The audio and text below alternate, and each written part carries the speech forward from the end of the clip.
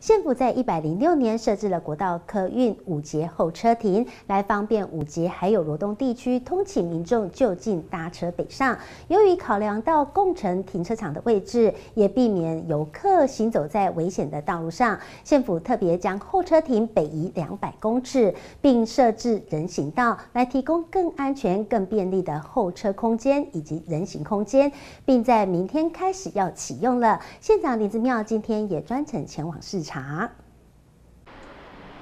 县政府在一百零六年设置的国道客运五节候车亭，以方便五节及罗东地区通勤民众就近搭车北上。但候车亭距离共乘停车场较远，民众转乘需要步行一段距离，相当不便，而且要行走在路旁，险象环生。为此，县府投入了四百万元，将五节候车亭向北迁移约两百公尺到共乘停车场旁，减少乘车民众步行距离，让民众停车之后就可以来搭乘客运。呃，共乘哈已经是咱的趋势啊，啊，所以讲吼，啊，咱今嘛呢为着大家安全。啊，宜兰县政府我们的交通处哈，我们的处长，呃，带领着这些团队哈，啊，交通处的团队，然后把这个共乘的地方呢，啊，能够呃呃到了这个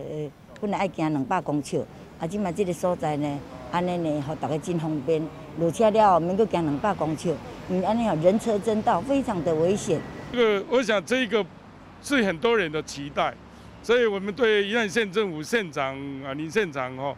啊，这样子的有一个啊体体系啊，所有有的所有的乘客啊的一个需要啊，做这样工程制的一个搭配，我们这在这里啊都表示感谢啊。另外，县政府也新增设人行步道，让下车或要搭车的旅客行走更为安全。